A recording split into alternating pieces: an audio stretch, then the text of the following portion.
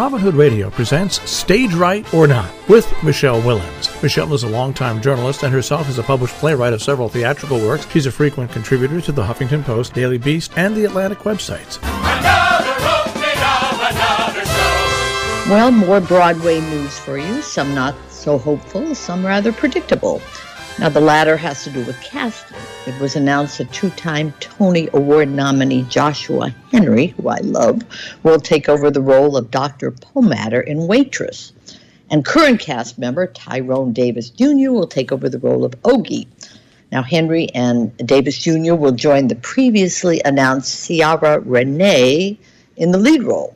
Now, Waitress has one show is one show that's really been doing very well. Now it's clearly changing color, so to speak which could make for some creative reinventing to go along with those yummy pie slices offered at intermission. Which brings me to my next almost Broadway experience of this past week, starting with the food concept. I thought I was seeing chicken and biscuits on Saturday, but lo and behold, COVID struck that cast and crew. Well, I'm now set for next week, but the show also announced its early closing November 28th, so who knows? Anna Deavere Smith's Twilight is also coming to a close. And that one does not surprise me. It's very well done, but long and tough going about the Rodney King beating and its racially fraught aftermath in Los Angeles. Now, I might mention that sometimes these announcements are accompanied by the hidden hope that folks will run out and get tickets. And suddenly the houses fill up, which may even lead to extensions. Well, I thought that might happen with Dana H. and Is This a Room? But so far, the early closing dates on all of the above are holding. But the big question remains whether tourists from other countries just now being allowed to come will go to the theater. The TKTS booth is where about 70% of the tickets are bought by tourists. Only half of those sales so far are to foreign travelers. Now, this is getting into holiday season, so the hope continues that that number rises. It better because January and February are traditionally the slowest period for New York theater. Now these takes these days we'll take hope where we can get it, even on TV. And yes, Annie will be the next live musical done by NBC, the first in two years, of course. Though all is not quite normal, one of the stars of the show, the delightfully hilarious Jane Krakowski, suffered a breakout case of you know what, and she's being replaced by Megan Hilty. The always delightful Harry Connick will be Daddy Warbucks. Warbucks. Annie airs live on December 2nd on NBC. So I'm accused these days of crying at everything, but I must say this was an emotional theater week if you knew where to look. I attended one memorable experience and I streamed another one. The former was a piece called War Words, written by Michelle Colos Brooks. That was performed on the Intrepid. Now, I had no idea the majestic aircraft carrier even had an auditorium theater. But that's where a full house watched the New York Rep Company, 17 of its members, read the actual words of soldiers who served in Iraq and Afghanistan. I might say this happened on Veterans Day. These were powerful expressions, either solo or in interactions between the vets. The role of the interpreters during wartime really came through, how crucial they are, what they do for us, what we do for them or not in return. Now, following the Intrepid, War Words was moving on to other cities, and I hope it becomes a perennial. Playwright Brooks said after the reading that not only was she not familiar with the material beforehand, I literally knew no one in the military or anything about the military, she said.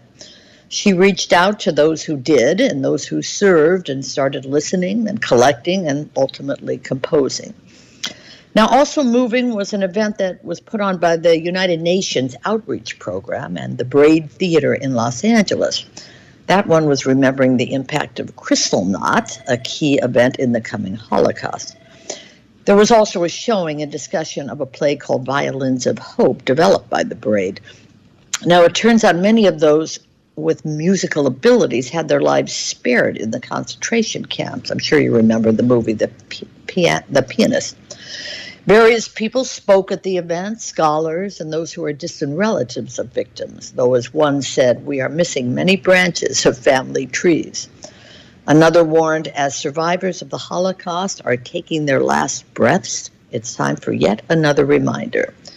Well, she's correct, and yep, I'm still crying.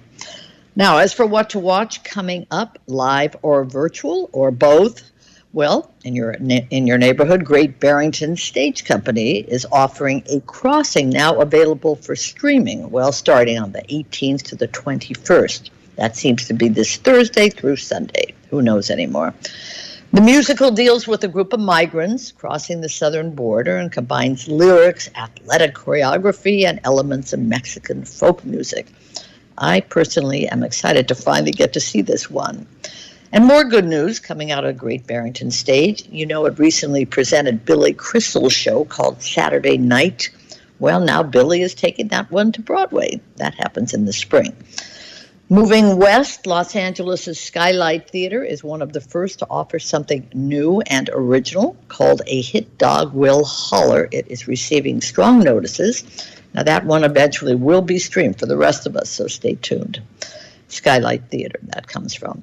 The whiplash continues, and back here in New York, one Jared Mezzocchi has been dubbed an absolute wizard at making online theater feel live. Well, he has brought his newest work to the vineyard, apparently streaming style, called On the Beauty of Loss. It explores how the emergence of social technology has shifted the way humans collect memories and comprehend grief. Sounds very timely. You can check out the Vineyard site for that.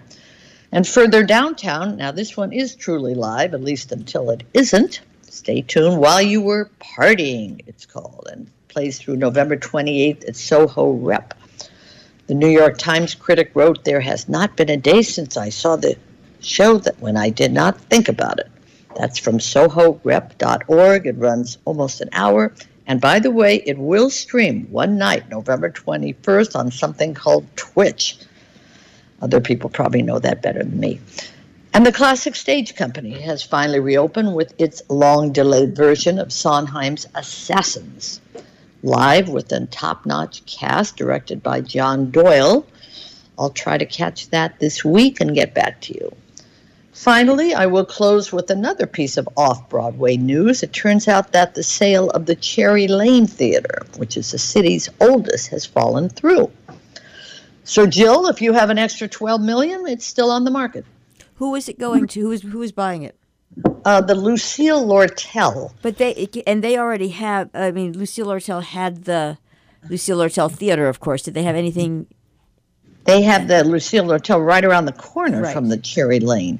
And I don't know why it fell through exactly. They were trying to ask for, uh, I think they were offering 11 million. Maybe they didn't offer enough because now they're asking 12.95. But anyway, the Cherry Lane is still available, and uh, it's a beautiful little, uh, beautiful little venue. I've visited it many times. I wonder, I wonder who will pick it up. I, I, I, I tend to look on the more optimistic side of these things now, so I'm sort yeah. of, I'm sort of curious about uh, who would uh, you know, uh, all right, who's next? Who's next? Because it's it. Yeah, it makes well, it possibly a little more independent. I mean, a little more independent. No. Well, I'll tell you who's buying up the movie theaters that are going on, and that's Netflix. But I, uh, they bought the Paris Theater, which is sort of like the Cherry Lane of movie theaters. Um, but they're not going to buy a, a little, uh, no, you know, legitimate theater downtown. No. Good question. I don't know who's got that kind of money and who cares enough about, you know, live theater anymore and history and all that. Oh, I, I, I predict, she said, smiling. Um, uh, so the Good. Billy Crystal show uh, is, is, Saturday night or Mr. Saturday Night? I saw a. Big, is it called Mr. Saturday Night? I think it. I think you're right. It it had a, a there was a it was it was one of those ads that you like to see that actually announced the show coming in March or something. Or... Yes, good news. I think that played. I, am sure I'm right. Didn't that play on Broadway like 20 years ago? Something, something. Yeah, it's. Uh, I remember thinking he's probably rewritten it. I assume. Well, there's but, more. Um, there's more to add now, and then. Th- yeah. Yeah. And then I had a, a, question that I've been meaning to ask you. Uh, I was struck to see on the front page of the Sunday Times an advert for Company. Yeah. So when when is that? Where is that? And then there's I've a got that coming. I've got that coming up soon. Uh, they're going to send me uh, my availability pretty soon. I think that is is it previews already in. I think it's already in previews. Opening, I'm quite sure in December. I should I should be seeing that in the next few weeks and that you know they want they've got an interesting cast it's all you know everybody's mixed up i mean the man the lead character who used to be a man is now a woman I know, and I wanted to, and I may get into trouble for this, but I'm going to say this as diplomatically as possible because I was thinking about this just prior to the show. One of the keys of the um, man of, of, of Bobby way Yeah, back Bob. was his inability to commit, and Right. because he was of childbearing, you know, because you know, because it was either time to settle down and do that or not, so to speak. Mm-hmm. And with the cross casting, I mean, I know women have biological clocks, etc. And Yeah. uh, so I'm not trying to get into any of that, but that there's just nothing you could do about the fact that men and women are different in their approach. Yeah the only thing i'll say is this one played in england you know and got very they're bringing the, they're bringing it over from england and it did very very well there. With Patti LuPone by the way she's really the bigger name. Katrina Lenk is the lead uh, as bobby but, but you know Patti LuPone gets all those great songs um, as one of the characters. Apparently this is all over the place in terms of a gay character that used to be straight uh, a bipolar you know i mean everybody's switched around Right. And, and Uh, so I just, I just, and, and, and again, we were talking about Barrington Stage last week. That was the show that was put on at Barrington's uh, back when it was in Sheffield. Not, not even didn't have its own theater in the uh, Consolati, I think, auditorium that I mentioned, or maybe I've got the name wrong again. Two weeks in a row, and you know, it was, it was very, it was it was the quote traditional company, but there was uh, th- there was rhyme and reason in the uh, issues that people had that I don't think Yeah. are so very different now, and I was just curious about how. Um, but you'll tell us how how, how it works. Um, you know, Yeah, with everything I cross was- cross. Yeah, I heard up. from the publicist from that show a few weeks ago who tried to pitch me an article about, and he went through every single character who is now changed to something else. You know, straight, gay, this, that, um, and, And every, and you know, I couldn't, I couldn't get much interest in doing that article. People said, "What's new with that nowadays?" Or you know, that we knew about that. I, I don't know.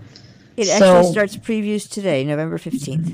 There you go. So I prob- I hope I get in there um, within the next few weeks. Oh, you know, yeah. they're not going to allow people press in until they're well established, so to speak. But anyway, things are coming. I walked by was at Times Square last week and walked by the big sign for the Music Man. The, I believe it's at the Winter Garden. Coming to the Winter Garden. That was exciting. Stage Right or Not with Michele Willens, produced in the studios of Robin Hood Radio, robinhoodradio.com.